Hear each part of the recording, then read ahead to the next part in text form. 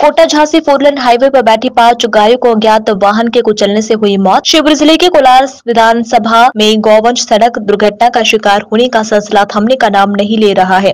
एक रोज पूर्व सुमेला गाँव के पास हाईवे पर पाँच गाय के कुचलने से मौत हो गई और आज सोमवार को रात खरई गाँव के पास हाईवे पर पाँच गायों को अज्ञात वाहन ने कुचल दिया, जिनसे सभी पाँच गायों की मौत हो गई है। जानकारी के मुताबिक तेंदुआ थाना क्षेत्र के Kota, Jhansi, four lane highway Khare के पास अज्ञात वाहन ने पाँच गायों की कुचलने से मौत हो गई है। इसके बाद कई घंटों तक हाईवे पर गौवंश के शव पड़े रहे, उन्हें हटाया नहीं गया।